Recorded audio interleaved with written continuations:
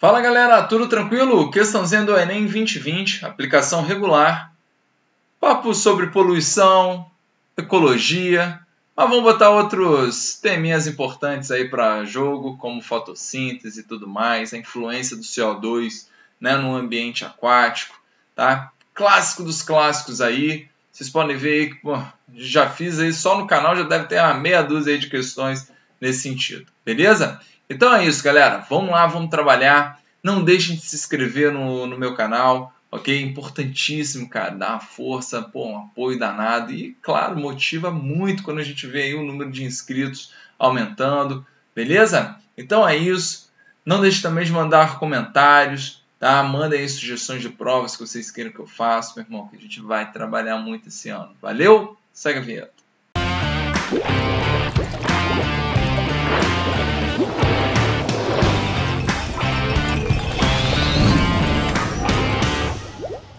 Pronto, galera, estamos de volta. Quero dizer o seguinte, ó, que o dióxido de carbono passa para o estado sólido gelo seco a menos 78 graus Celsius e retorna ao estado gasoso à temperatura ambiente.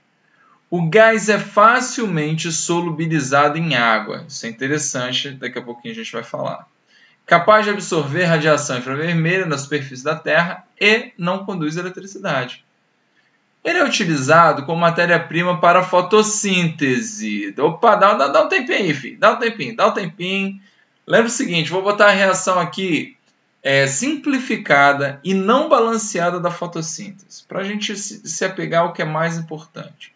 Lembra que a fotossíntese, gente, é a transformação da matéria inorgânica, na presença de luz, ok, em matéria orgânica. Beleza? Então tá aqui. Então a gente vai pegar esse CO2, meu irmão, que é oriundo aí da respiração, não só nossa, como das plantinhas também. Mas, né, hoje a gente dá uma acelerada, não é isso? Na liberação desse cara na atmosfera, principalmente aí na queima dos combustíveis fósseis. Então, mais uma reação para a gente caracterizar aqui, tá? Vamos botar aqui, ó. Vamos botar o C2H6O, que é o álcool, beleza? Isso aqui com O2, tá? liberando CO2 e água. Lembrando que os hidrocarbonetos, inclusive aqueles compõem né, o petróleo e tudo mais, e a gente vai, meu irmão, arrancar fora do petróleo, principalmente aquela galera com oito carbonos ali e, e proximidades, para produzir também gasolina. Show? Mas eu quero caracterizar o álcool aqui, vocês vão entender por que, que eu vou falar dele melhor. Mas ele também queima, filho. Ó, vamos botar aqui. Esse aqui eu vou balancear. Ó. Bota 2, bota 3, né? Bota 3 aqui, também já está balanceado. Mas eu vou falar melhor dessa equação daqui a pouquinho. Mas a gente tem, ó, queima de álcool, liberação do CO2. Beleza? Então, show de bola. Então, após a fixação pelos organismos autotróficos, o gás retorna ao meio ambiente pela respiração aeróbica. Então lembra que a respiração aeróbica ela se dá no sentido inverso, ok? Do, da fotossíntese. Então o que está em pretinho, que é então a respiração. Maravilha. Só que ele colocou aqui também, ó, fermentação, decomposição ou por resíduos industriais, queima de combustíveis fósseis e queimadas. Então, Combustíveis fósseis, foi, foi o que eu falei, caracterizamos aqui principalmente ó, a gasolina, ok, derivada do petróleo. Apesar da sua importância ecológica, seu excesso causa perturbações no equilíbrio ambiental. Considerando as propriedades descritas, o aumento da atmosférica da substância afetará os organismos aquáticos em razão da. Então vamos lá, galera. Eu gosto de retratar a queima dos combustíveis, de maneira geral, seja de origem né, fóssil ou não, com etanol, muito do que a gente vai relacionar agora.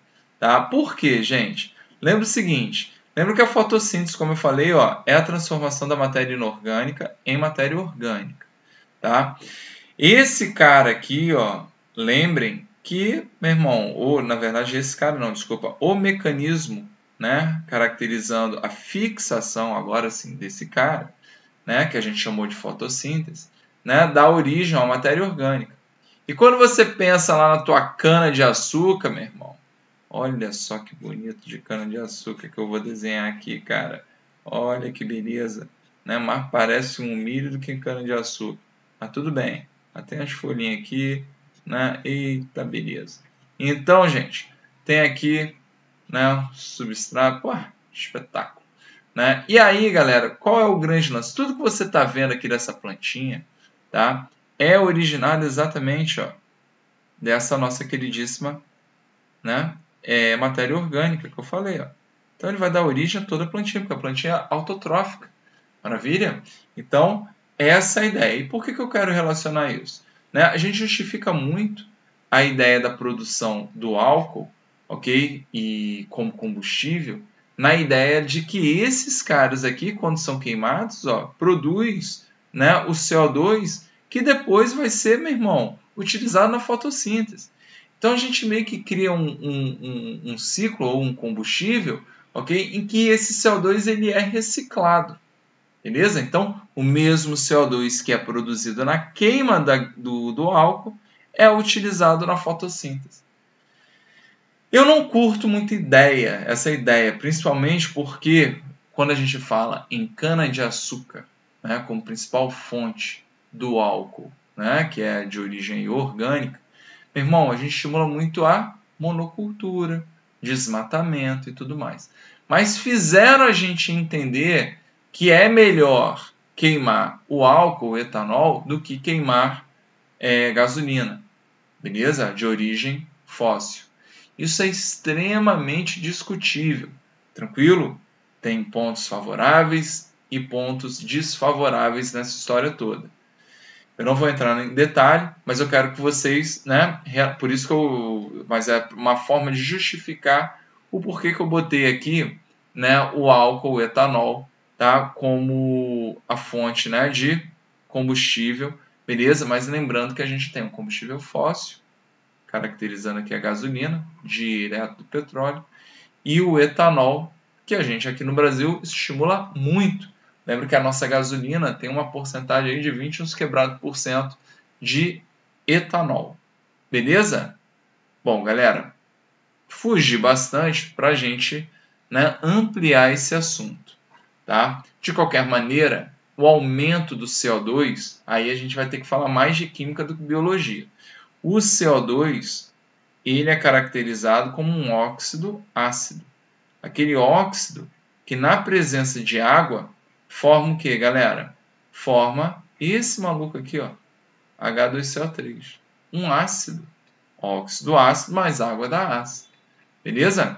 E esse cara, lembra que quando ele ioniza, ele libera H+, beleza? Vou colocar a ionização parcial, ó, formando H+, e o bicarbonato, tá? Mas eu quero que vocês se liguem nisso aqui, ó. Nesse caninho. Vamos jogar uma cor diferente aqui para ficar bonito essa anotação. Ok? Tranquilo, gente? Então, essa é a reaçãozinha que a gente caracteriza aqui. E por que eu estou chamando a atenção desse cara? Porque, pegando na química, ó, se a gente está caracterizando aí um quadro de aumento do CO2, eu tenho que pensar que essa reação ela desloca ó, no sentido de formar mais H+. Ah, Vitão. E aí vem a química, né, galera? Lembre o seguinte, ó. Quando a gente aumenta a concentração de H+, a gente faz o quê? A gente diminui o pH. Como assim, Vitão? Eu sou ruim de conta. O que é esse tal de pH? É um tal de potencial hidrogeniônico. Olha comigo aqui, ó. Né? Quando a gente fala da concentração do H+, de 10 a menos 2 molar, ok? Quanto que é o pH dessa birótica? O pH dessa birótica, lembra que pH, ó, vou botar aqui em cima, ó, pH é menos log da concentração de H+. E quanto que é menos log na base 10, galera? É o valor do expoente. Então, menos log de 10 a menos 2 é igual a 2. Aí vamos supor que a gente vai aumentar a concentração de H+. Vai para 10 a menos 1. Esses valores são hipotéticos, tá? Não confere com a ideia de pH de oceano de, de mar, não. É só para a gente ilustrar a ideia. Então, o que acontece? eu estou aumentando o H+. Só que olha o que, que acontece com o pH. O pH menos log de 10 a menos 1, log de, menos, de 10 a menos 1 é menos 1, com esse menoszinho no, no, na fórmula fica 1. Ah, Vitão, então é por isso que na escala de pH, ok? Quanto mais próximo, né, ou quanto menor for o pH, mais próximo de zero, ok? A gente caracteriza um pH o quê? Mais ácido. Beleza, exatamente. Quanto mais próximo de 14, quanto maior for o pH, a gente caracteriza ele mais básico. Beleza? Tranquilão, gente? Então, é, quando a gente fala no aumento ok, do CO2, ó, vem aqui embaixo comigo, eu tenho que pensar no aumento da concentração de H+, e por isso na diminuição do pH, na diminuição do potencial hidrogeniônico. Ok? Então vamos lá, as opções. Então, considerando as propriedades descritas, o aumento atmosférico da substância afetará os organismos aquáticos em razão da. Vamos lá. Então, estou aumentando CO2, né? caracterizando aí a solubilidade dele na água. Eu vou aumentar H, diminuir pH. Então, letra A, redução do potencial hidrogeniônico da água. Muita gente não sabia o que era potencial hidrogeniônico. Potencial hidrogeniônico é o pH. Então, de fato, vai reduzir. Já é letra A. Beleza? Vamos ver o porquê não das outras? B. Restrição da aerobiose pelo excesso de poluentes. Né? Pô, nada a ver, né? Tem restrição da aerobiose. Né? Não tem muito a ver isso aqui, não. Está dizendo que vai diminuir a taxa de, é, do processo que não tem o oxigênio ok, na, no, no, no, no caso da produção de, de energia. Diminuição da emissão de oxigênio pelos autótrofos. Né? Ele está falando né, que você vai ter aqui, devido a esse aumento, diminuição da emissão de oxigênio pelos autótrofos. Na verdade, a gente tem né, até um aumento quando você tem o CO2, né, porque a gente está falando aqui, ó, olha a quantidade de oxigênio, né, ela tende a aumentar ou pelo menos estabilizar, certo? Limitação de transferência de energia entre os seres vivos. Não influencia em nada isso aqui. Né? Tá falando, lembra que transferência de energia está relacionado né, à, à quantidade de energia que passa por nível trófico. Ok? Então lembra aquele lance de pirâmide de energia e tudo mais? Também não tem muito a ver e retração dos oceanos pelo congelamento do gás nos polos. Isso aqui é loucura total. Né? Lembra que o efeito estufa, normalmente alguns relacionam até o que? Né? O aumento do nível dos oceanos, né? devido ao descongelamento, já que você está falando de efeito estufa, aquecimento global, descongelamento né? dos polos e aumento dos oceanos. Beleza? Então realmente ficou letra A Espero que tenham curtido. Falamos bastante aqui, ó. Uma questão bem interdisciplinar, né, galera? Tentei puxar o máximo aí, introduzir alguns pontos interessantes. E é isso. Vamos com tudo. Até a próxima.